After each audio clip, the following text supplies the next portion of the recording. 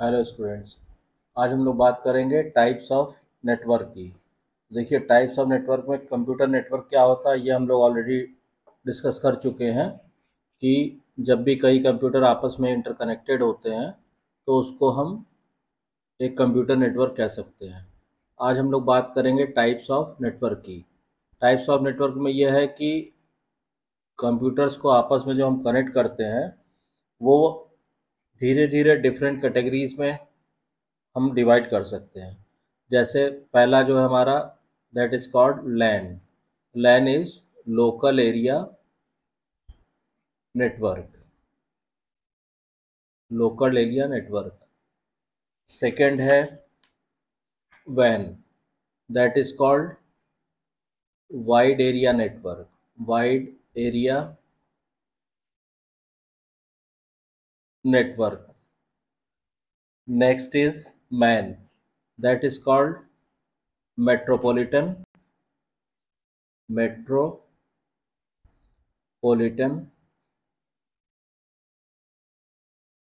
area network इसके बाद next है SAN that is called storage area network that is SAN SAN का full form आप कह सकते हैं स्टोरेज एरिया नेटवर्क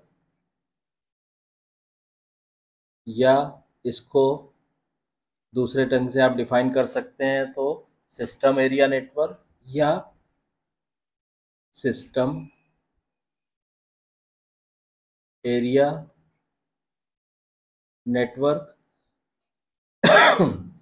या इसको सर्वर एरिया नेटवर्क भी बोलते हैं। Server area network. ठीक है, उसके बाद जो नेक्स्ट नेटवर्क है टाइप वो that is called CAN CAN is abbreviation form of campus area network campus area network या controller area network controller area network. ठीक है, उसके बाद नेक्स्ट है आपका पैन। ठीक है, पैन का फुल फॉर्म हो गया personal area network. Personal area network. Next is home network. Home network. इसके बाद हम लोग बात करते हैं that is called backbone network backbone network और नेक्स्ट है enterprise private network enterprise private network और लास्ट है आपका that is called DAN DAN है, इसका फुल फॉर्म है desk area network desk area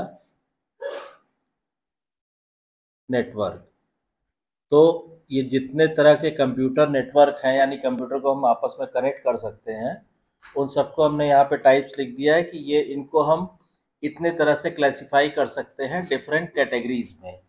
जैसे आपका वाइड लोकल एरिया नेटवर्क हो गया वैन हो गया मैन हो गया SAN CAN PAN home network backbone network enterprise private network और लास्ट है आपका DAN that is desk area network तो इस तरह से हम डिफरेंट कंप्यूटर नेटवर्क को आपस में क्लासिफाई कर सकते हैं। अब इसको हम वन बाय वन डिस्कस करेंगे। तो पहला जो है हमारा, पहला है हमारा local area network that is LAN तो लैन क्या होता है? In case of LAN LAN stands for local area network. ठीक है?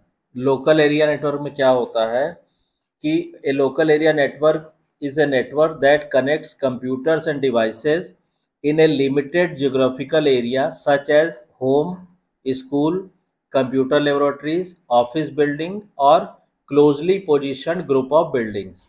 तो लोकल एरिया नेटवर्क क्या होता है कि जैसे मान लीजिए हमने कहा कि कोई एक इसे स्पेसिफाइड या लिमिटेड जियोग्राफिकल एरिया है, ठीक? तो इसके अंदर जो भी कंप्यूटर है, वो इस पर्टिकुलर जोग्राफिकल एरिया के अंदर ही होंगे, ठीक है? और ये कंप्यूटर आपस में एक दूसरे से कनेक्टेड होंगे, ठीक?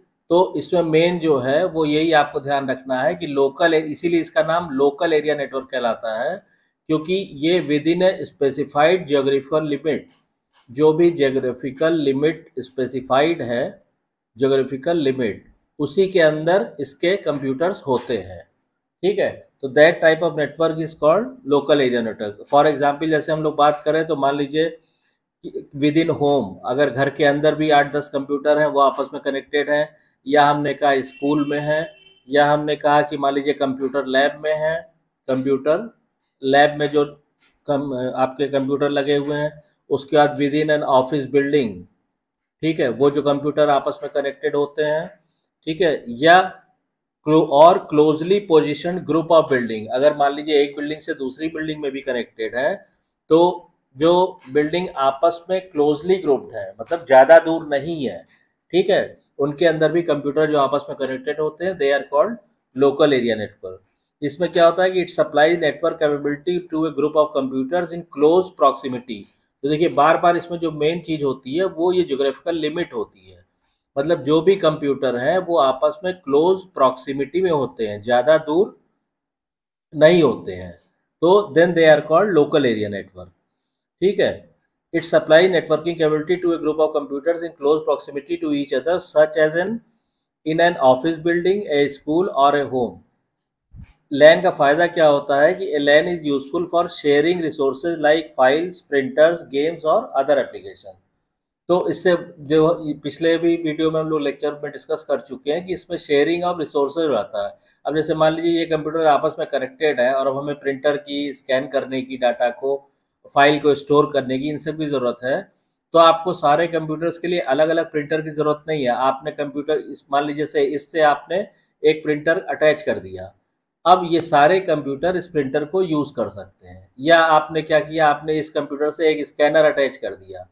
तो क्या होगा कि ये सारे कंप्यूटर इस स्कैनर को यूज़ कर सकते हैं।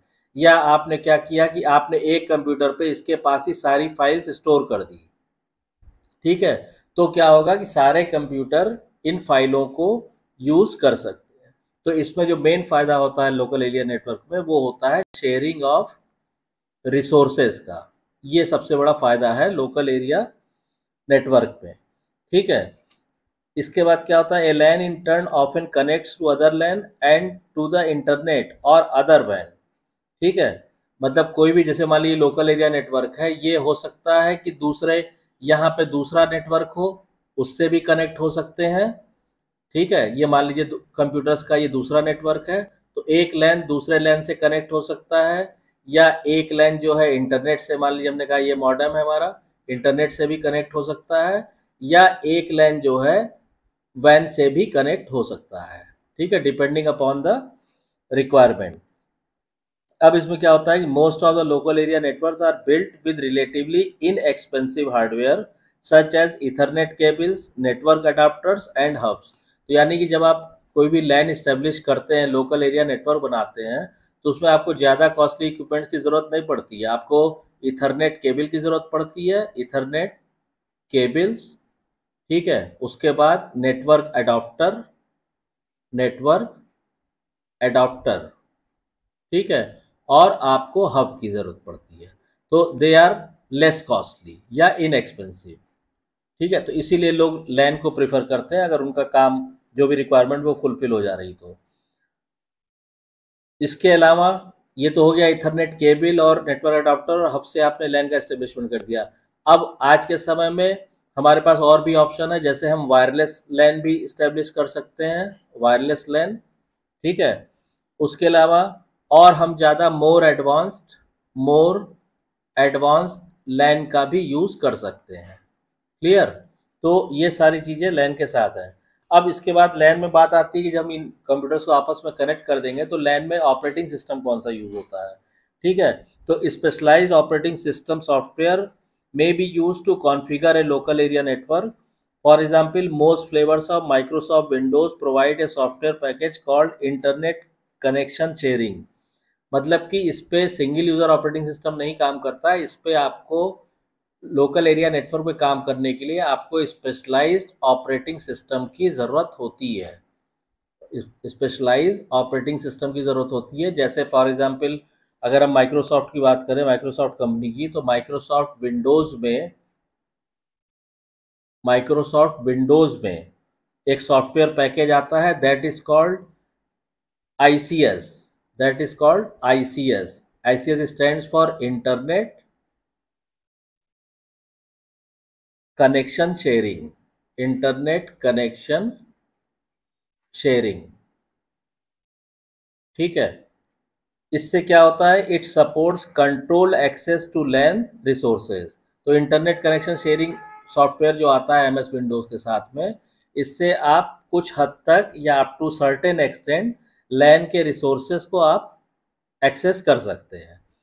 The term LAN party refers to a multiplayer gaming event where participant bring their own computers and build a temporary LAN तो ऐसी जो आपका लैन पार्टी है, उसमें क्या होता है कि उसमें हर यूज़र अपना अलग कंप्यूटर लाता है और वो यूज़र अपना अपना कंप्यूटर ला के वो इस तरह कनेक्ट हो जाते हैं कि जैसे वो एक लैन के अंदर जुड़े हुए हों। ठीक है तो या एक तरह से आप ये कह सकते हैं कि वो एक टेम्प्ररी लैन की तरह आपस में जुड़ जाते हैं। ठीक है टेम्प्ररी लैन क्लियर अब एग्ज़ाम्पल की हम बात करेंगे कुछ लोकल एरिया नेटवर्क की एग्जाम्पल्स की हम लोग बात करें तो एग्ज़ाम्पल में ये आपका आ जाएगा। एक तो द मोस्ट कॉमन जो है सबसे ज़्यादा वो तो है इथरनेट लैन इथरनेट लैन ठीक? इसके अलावा the smallest home LAN can have exactly two computers ठीक है? मतलब आपने घर पे आपके पास दो कंप्यूटर है, उनको आपने क्या किया? केबल के थ्रू आपस में एक दूसरे से कनेक्ट कर दिया so that they can share the resources of each other तो वो आपका एक स्मॉलेस्ट एग्ज़ाम्पल हो लोकल एरिया नेटवर्क की। लार्ज लैन की हम बात करें तो a large LAN can accommodate many thousands of computer अब जैसे मान लीजिए कोई बिल्डिंग है, कोई भारी भरकम बिल्डिंग है, आप ले लीजिए जैसे इंश्योरेंस का ऑफ़िस है बैंक है रेलवे रेलवे का ऑफ़िस है। अब विद इन अ बिल्डिंग मान लीजिए 300-400 कंप्यूटर है more than that and they are connected with local area network तो वो एग्ज़ाम्पल हो गया आपका लार्ज लैंड का। तो हमने आपको स्मॉल लैंड की भी एग्ज़ाम्पल बता दी मिनिमम दो कंप्यूटर का, और लार्ज लैंड की आपको बता समझा दिया कि number various many number of computers can be connected to each other आगे क्या कह रहा है? Many LANs are divided into logical groups called subnets मतलब जो लोकल एरिया नेटवर्क है, मान लीजिए एक आपका ये लैन है, और उसके अंदर ये कंप्यूटर्स आपस में जुड़े हुए हैं, ढेर सारे कंप्यूटर हैं, ठीक है? और उनको उन्होंने क्या किया? ये देख these computers are inter internally interconnected उसके बाद उन्होंने क्या किया हुआ है कि इन कंप्यूटर्स को आप, आपस में भी डिवाइड किया। मान लीजिए, उन्होंने कहा कि ये चार का एक अलग ग्रुप बना दिया, इन तीन का एक अलग बना दिया। तो ये जो अलग अलग ग्रुप बनेंगे लैन के अंदर they are called subnet they are called subnet ठीक है? These logical groups are called subnet an internet protocol an internet protocol class A LAN can in theory accommodate more than 16 million devices organise into subnets अब आप देखिए local area network को इतना छोटा मत समझिए।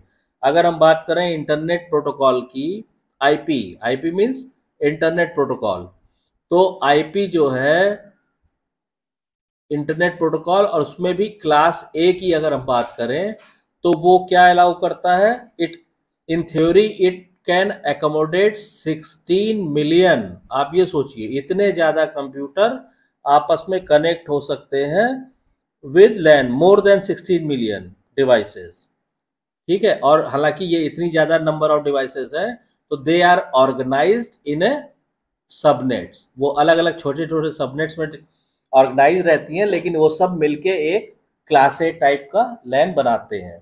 तो this is called the local area network अब इसके बाद जो आता है, वो आता है वाइड एरिया नेटवर्क तो उसको हम लोग अब नेक्स्ट लेक्चर में डिस्कस करेंगे। अभी आई होप कि आपको लोकल एरिया नेटवर्क क्लियर हो गया होगा। अगर कोई भी क्वेरी है या कुछ और आप पूछना चाहते हैं तो कमेंट लाइन में कमेंट करके पूछिए। और अगर वीडियो कंटेंट पसंद आ रहा है तो प्लीज़ वीडियो को शेयर कीजिए लाइक कीजिए चैनल को सब्सक्राइब कीजिए नोटिफिकेशन बिल को ऑन कर दीजिए ताकि जब भी कोई नई वीडियो चैनल पर अवेलेबल हो, उसकी इन्फॉर्मेशन आपको तुरंत मिल जाए। Thank you